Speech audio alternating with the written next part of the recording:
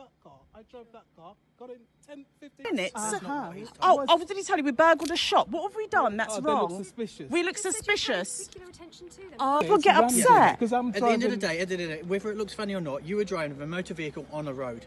Yeah. You packed up, so therefore Yeah. I'm requiring you to provide proof of drivers. You are kidding us right No, no, now. because you can see why people get upset. But You can see why you're them off, can't you? Then I can confirm that you are the driver of that vehicle and that you live here, and we're gone. That's Well, as simple as why? It's just turned something that could have been. No, you've turned it in. you No, irate, you've done you that. It it No, you've done that by stopping us. You but- just jumped on yeah. the bandwagon No, you. No, no, no. You've